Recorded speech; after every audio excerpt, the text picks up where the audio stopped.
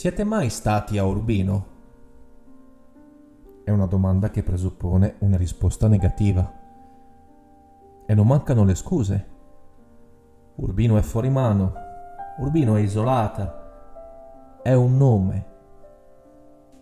Urbino continua a rimanere una città morta. Lo è soprattutto per gli italiani, per chi invece dovrebbe costituire una ragione orgogliosa un tema di ritorno, un tema eterno. Infatti, insieme a poche altre città italiane, Urbino è una città dell'anima. Ma il libro delle proteste non deve essere chiuso a questo punto. Oggi si deve parlare anche delle conseguenze di questo stato di cose, perché Urbino sta conoscendo una seconda morte. Urbino crolla Urbino cade in rovina. Si tratta di un patrimonio ingente che per inerzia o per distrazione si lascia deperire fino al punto di doverne prevedere a breve scadenza una serie di danni irreparabili.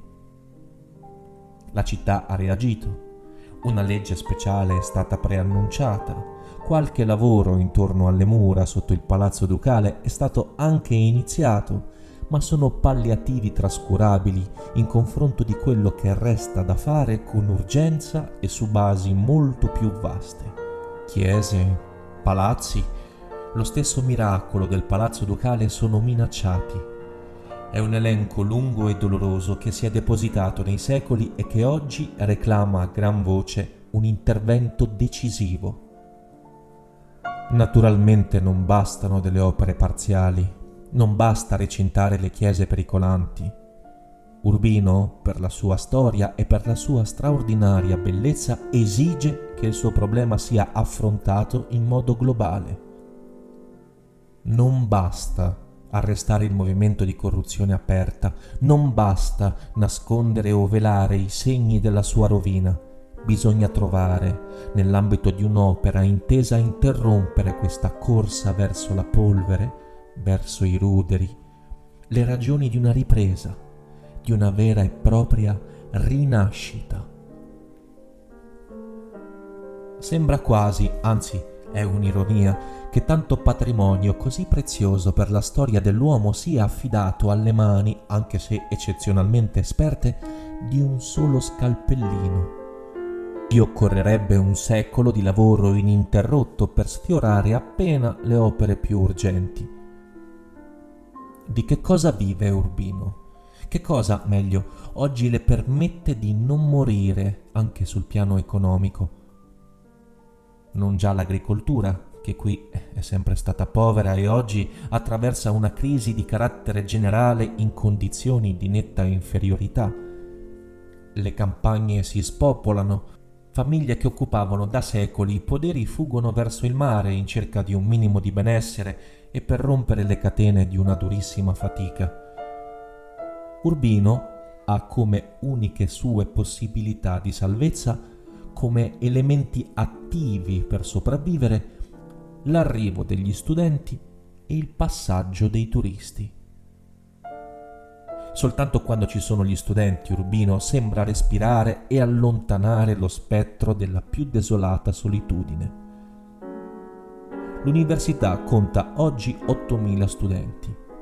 È in qualche modo la città vera. Qui, come in nessun altro luogo del mondo, la popolazione studentesca supera quella degli abitanti. Ad ogni urbinate corrisponde uno studente. E mezzo. Si tratta quindi di sviluppare e di accrescere questa sorgente di vita, questa straordinaria occasione di sangue nuovo, potenziando le istituzioni che esistono da secoli e creandone altre. È quasi un simbolo che vale oltre la storia di una mirabile città. È un simbolo che serve per tutto il nostro paese questa collaborazione spontanea fra una città monumentale e una popolazione di giovani lascia intendere in che modo si deve pensare alla cultura.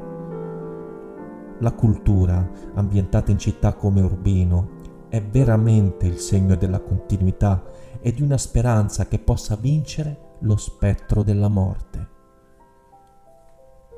Urbino consente ciò che altrove, per esempio in una grande città, è impossibile.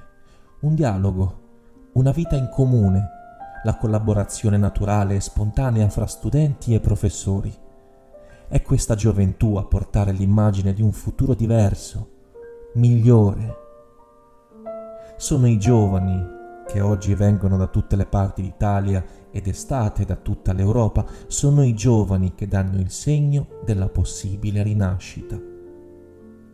Si tratta quindi di offrire sempre di più a queste nuove famiglie di giovani umili, ma veri, poveri, ma certi e sicuri della loro passione intellettuale, un soggiorno pieno, l'immagine completa di una dimora. Non siete mai venuti a Urbino? Se continuerete a rispondere di no, dovrete sentirvi in colpa, perché vi mancherà una dimensione della civiltà italiana. E questo lo si dice non soltanto per quello che è il suo patrimonio artistico, no? Lo si dice per quella che è la fisionomia stessa della città, per la sua aria, per la straordinaria bellezza della sua terra. Urbino è un paesaggio incantato. Chi ha percorso soltanto una volta la strada rossa che porta a Fermignano per valli di una dolcezza indimenticabile, o conosce la strada ducale che corre sul filo delle colline, parallela alla provinciale per Pesaro, sa che non sono menzogne, sa che non è retorica. C'è una Urbino che respira al centro del cuore d'Italia e che è rimasta intatta dai tempi dei suoi grandi pittori, a memoria di una dignità dello spirito che il nostro modo di vivere ha umiliato e infine perduto.